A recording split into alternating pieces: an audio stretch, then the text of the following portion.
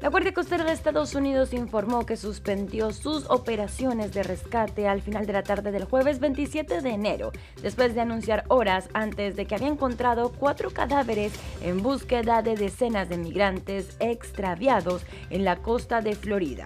Funcionarios de la Oficina de Investigaciones de Seguridad Nacional informaron que investigan el caso como una operación en contrabando de personas. Hasta el momento las autoridades han encontrado un total de cinco cuerpos, con lo que restan 35 desaparecidos cinco días después de que la embarcación naufragara en su camino hacia Florida desde Bimini, una cadena de islas en las Bahamas a unos 88 kilómetros al este de Miami.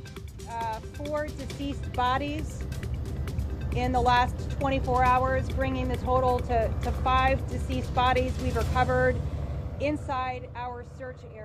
La Oficina de Investigaciones de Seguridad Nacional de Miami inició una pesquisa al asegurar que el viaje de los inmigrantes formaba parte de una operación de contrabando de personas. Según las leyes federales, un contrabandista condenado por causar muertes es elegible de pena capital.